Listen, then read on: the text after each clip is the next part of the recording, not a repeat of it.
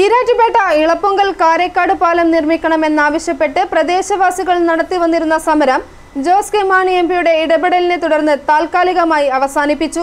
ഈരാറ്റുപേട്ട നഗരസഭയെയും തലപ്പുലം ഗ്രാമപഞ്ചായത്തിനെയും തമ്മിൽ ബന്ധിപ്പിക്കുന്ന ഇളപ്പുങ്കൽ പാലം രണ്ടായിരത്തി ഇരുപത്തൊന്ന് ഒക്ടോബർ പതിനാറിനുണ്ടായ പ്രളയത്തിലാണ് തകർന്നത്. ഗതാഗത യോഗ്യമായ പാലം പണിയണമെന്നാണ് നാട്ടുകാരുടെ ആവശ്യം. ഈരാറ്റുപേട്ട നഗരസഭയിലെ കാരക്കാട് നിവാസികൾക്കും തലപ്പലം പഞ്ചായത്തിലെ ഇളപ്പുങ്കൽ നിവാസികൾക്കും മീനശിലറിന്റെ മറുകര എത്തുന്നതിനുള്ള ഏക ആശ്രയമായിരുന്നു രണ്ടടി വീതമുള്ള നടപ്പാലം. പാലം തകർന്നതോടെ ഏറെ ദുരിതത്തിൽ സഞ്ചരിക്കേണ്ട സ്ഥിതിയാണ് ഇപ്പോൾ. പലതവണ പരാതിപ്പെട്ടിട്ടും നടപടി ഉണ്ടാകാതിരുന്നതിനെ തുടർന്നാണ് നാട്ടുകാർ ആക്ഷൻ കൗൺസിൽ രൂപീകരിച്ച് സമരപരിപാടികൾ ആരംഭിച്ചത്. തുടർന്ന് ജോസ് കെ മാണി എം പിയുമായി സമരക്കാർ ചർച്ച നടത്തി. ആക്ഷൻ കൗൺസിൽ ഭാരവാഹികളുമായി നടത്തിയ ചർച്ചയിൽ പുതിയ പാലം നിർമ്മിച്ചു നൽകാമെന്ന ഉറപ്പ് ലഭിച്ചതിനെ തുടർന്നാണ് സമരം താൽക്കാലികമായി അവസാനിപ്പിച്ചത്. തിരഞ്ഞെടുപ്പ് പ്രോട്ടോകോൾ അവസാനിക്കുന്നതോടെ പാലം പണിയുന്ന നടപടികൾ ആരംഭിക്കുമെന്ന ഉറപ്പാണ് ലഭിച്ചിരിക്കുന്നത്. ഗതാഗത യോഗ്യമായ പാലം വേണമെന്നാണ് നാട്ടുകാരുടെ ആവശ്യം.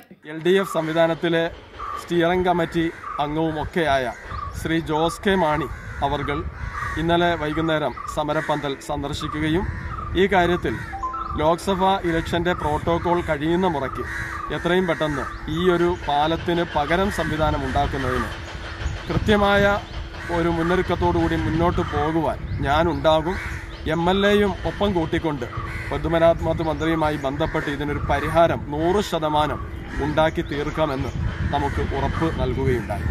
ആ ഉറപ്പിന്റെ പശ്ചാത്തലത്തിൽ ഇതുവരെ നടന്നു വന്ന പ്രത്യക്ഷ സമര പരിപാടികൾ അവസാനിപ്പിച്ചുകൊണ്ട് മുന്നോട്ട് പോകുവാനാണ് ഇപ്പോൾ ആക്ഷൻ കമ്മിറ്റിയുടെ തീരുമാനം. എന്നാൽ ഇതിനു മുമ്പ് വളരെ കടുത്ത ഒരു നടപടിയിലേക്ക് എത്തണമെന്നായിരുന്നു നാട്ടുകാരുടെ ആഗ്രഹം. കാലാകാലങ്ങളായി വോട്ട് കുത്തി നാം ജയിപ്പിക്കുന്ന നമ്മുടെ ജനപ്രതിനിധികൾ ഇത്തരത്തിൽ ജനങ്ങളുടെ ജീവിത പ്രശ്നവുമായി ബന്ധപ്പെടുന്ന ഒരു കാര്യത്തിൽ കാണിക്കുന്ന അലംഭാവം വെച്ച് പൊറുപ്പിക്കാൻ പാടില്ല എന്നുള്ളതായിരുന്നു ജനങ്ങൾ ഒന്നടങ്കം ആവശ്യപ്പെട്ടത്. ഏതായാലും ഈ ഒരു പശ്ചാത്തലത്തിൽ ജനങ്ങളുടെ ആവശ്യം മുഖവിലക്കെടുത്തുകൊണ്ട് Shri Jose K Mani M P അവറുകൾ വരികയും അദ്ദേഹം ആശ്വാസകരമായ തീരുമാനം നമുക്ക് ഉണ്ടാക്കി നൽകാമെന്ന് വാഗ്ദാനം ചെയ്യ- ചെയ്യുകയും ചെയ്തത് നാം ഈ സമയത്ത് അംഗീകരിക്കുകയാണ്. ചർച്ചയ്ക്ക് ശേഷം സമരവേദിയും ജോസ് കെ മാണി സന്ദർശിച്ചു. ചർച്ചയ്ക്ക് ശേഷം പ്രൊഫസർ ലോപ്പസ് മാത്യുവും ഉണ്ടായിരുന്നു. ചർച്ചയിൽ പി മുഹമ്മദ് സക്കീർ ഇമാം ഷാഹിർ നദ്വി ഇമാം നിസാർ മൗലവി അജ്മി അബ്ദുൽ ഖാദർ ഹാജി റഷീദ് കൈപ്പനാത്തടം തുടങ്ങിയവർ പങ്കെടുത്തു. പുതിയ പാലം എത്രയും പെട്ടെന്ന് നിർമ്മിക്കാൻ വേണ്ട നടപടികൾ സ്വീകരിക്കുമെന്ന Jose K Mani M P സമരസമിതിക്ക് ഉറപ്പ് നൽകി. ഐഫോറി ന്യൂസ് പാല.